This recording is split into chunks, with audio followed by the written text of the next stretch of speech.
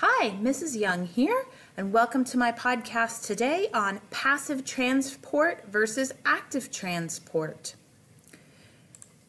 This is what we already know. We know that all cells are surrounded by a selectively permeable cell membrane. And if you remember that selectively permeable means that the cell membrane lets some things in and some things out, but not everything can just go freely.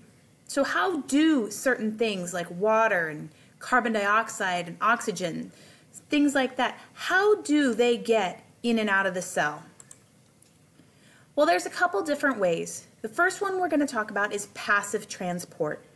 This is when movement of materials through a cell membrane happens without the use of cellular energy. So the cells, they don't have to use up any of their precious energy to move things in and out.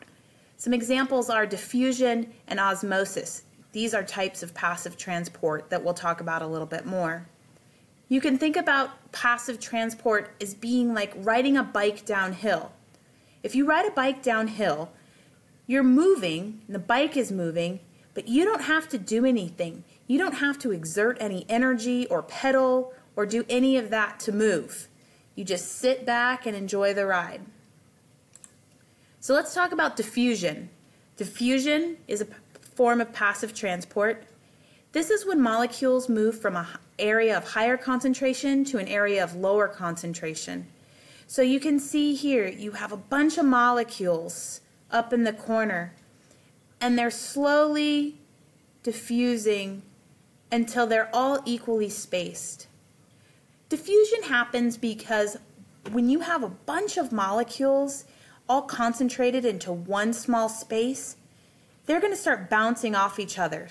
Molecules are always moving, and when there's a bunch of them all together, they're going to collide, and they're going to keep colliding. And as they hit each other, they're going to start spreading out. And that's how diffusion works.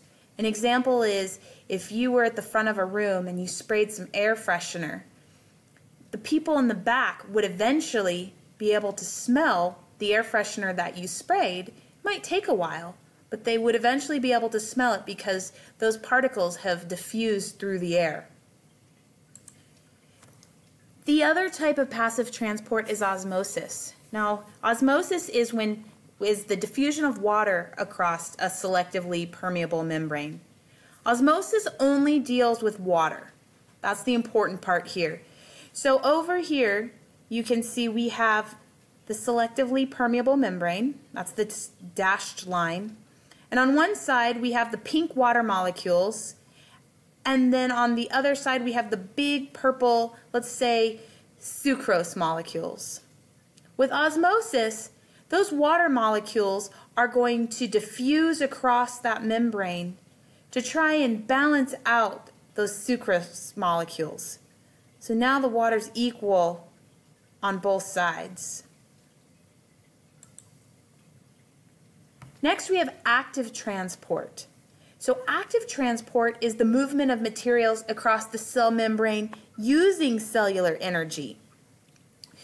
This can, you can think of this as like riding a bike uphill. If you're going uphill, you have to pedal. You have to exert energy to try and overcome that gravity and get up the hill. And that's exactly what active transport is. You would use active transport when you were trying to um, move particles that are in a lower concentration, move them into a higher concentration. Because normally, if you were in a high concentration, those particles would want to move across to the lower.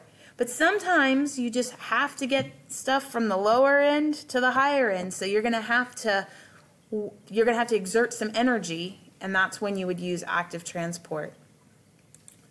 So here's a question.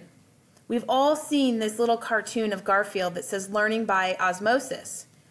Based on what you've learned in this podcast, what makes this cartoon incorrect?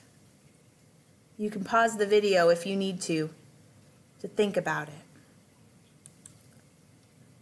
So Dwight from the office says, learning through osmosis is false because osmosis, oh, they spelled it wrong. I just noticed that.